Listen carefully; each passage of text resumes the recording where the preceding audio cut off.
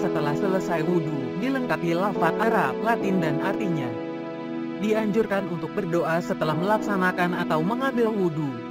Baik untuk wudhu, untuk keperluan sholat wajib, sunnah atau wudhu yang lainnya. Berikut ini setelah wudhu, lengkap Arab, Latin dan artinya.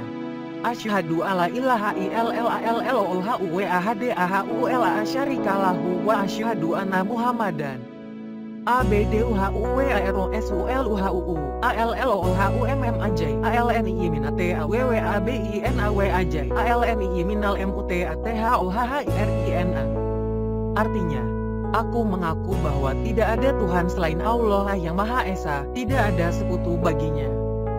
Dan aku mengaku bahwa Nabi Muhammad itu adalah hamba dan utusan Allah. Ya Allah, jadikanlah aku dari golongan orang-orang yang bertaubat dan jadikanlah aku dari golongan orang-orang yang bersuci, soleh.